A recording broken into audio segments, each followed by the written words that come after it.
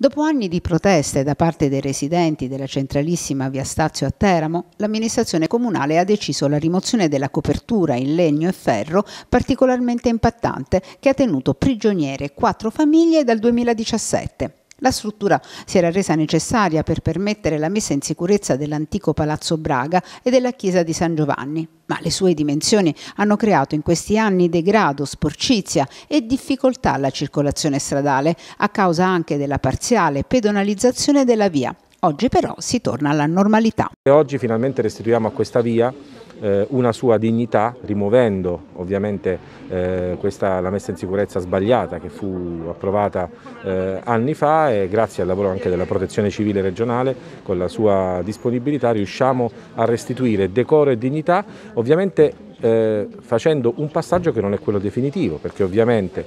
questa, questa, questa, via, questa strada, via Stazio, sarà interessata ovviamente anche da un intervento di manutenzione con il lavoro dell'assessore di Bonaventura in un contesto nel quale appunto stiamo lavorando alacremente per eh, il recupero attraverso il percorso di ricostruzione del, del Braga e soprattutto stiamo imprimendo un'accelerazione forte, importante alla riqualificazione complessiva, non la cosiddetta pezza, del mercato coperto e di Piazza Verdi. Via Stazio è una via dell'antico quartiere teramano di Santa Maria Bitetto, dove insistono palazzi, monumenti e chiese importanti come il Teatro Romano, il Conservatorio Braga col suo chiostro medievale e San Giovanni. La sua futura riqualificazione rappresenta il cuore del progetto di Teramo città capoluogo. Che tempi prevede?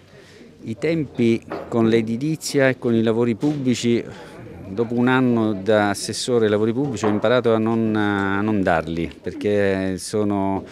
diciamo, non dipendono direttamente dalla volontà dell'amministrazione comunale che domani mattina avrebbe voluto aprire già il cantiere, ma dipendono da tanti fattori, però eh, i tempi sono scanditi e credo che nel giro di pochissimi mesi riusciremo sicuramente a dare un nuovo volto a questo quartiere che già così con il recupero del rudere di Via Muzzi, adesso l'eliminazione del sottopasso pedonale che rappresentava un'ostruzione non solo alla viabilità ma anche diciamo, un decoro inadeguato per la nostra città, stiamo piano piano recuperando il tempo perso.